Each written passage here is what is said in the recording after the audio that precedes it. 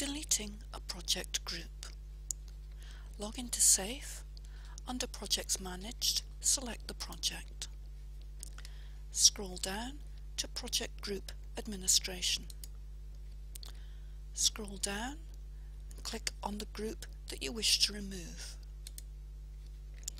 Scroll back down and click on Delete. Ask for confirmation that you wish to delete this group. Click Yes and you'll have confirmation that the group has been deleted.